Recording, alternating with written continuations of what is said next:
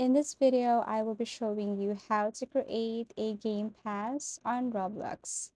So first, you just have to go to any web browser and then log into your Roblox account. Now, you just have to go to create, tap create, that is next to marketplace. And then this is what it looks like. Now, once you're here, you have to tap this dashboard. Okay, go to dashboard. And then after that, you have to scroll down and look for create experience. Okay, so if you don't see this one here, you can simply select this part and then click new tab, paste, and it will direct you to this part here where you can see these options. Okay, tap dashboard, click this create experience here.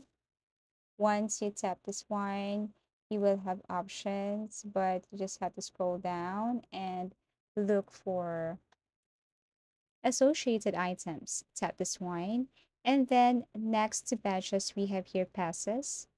You have to tap passes and then click this create a pass, this blue button here, and then click change. So for image, you have to follow this format here. Okay, import image from your PC okay click open. Now you can change the name and you can also add description to that. Okay for example my game something like that. And then after that you just have to click this create pass. Now you have to wait for a couple of seconds i guess minutes for you to see the image. Okay but it's right here. You have already created a pass. Now if you want to put it on sale, you just have to click this one, click sales, and then simply click this item for sale and then type the amount here, for example, 10. Okay, and then click save changes.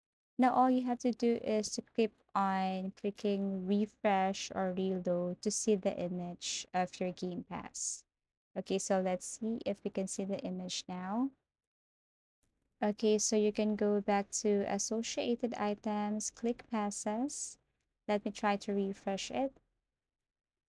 And yes, here it is. So that's it. So if you found this video helpful, give it a thumbs up. Subscribe for more video tips and video tutorials.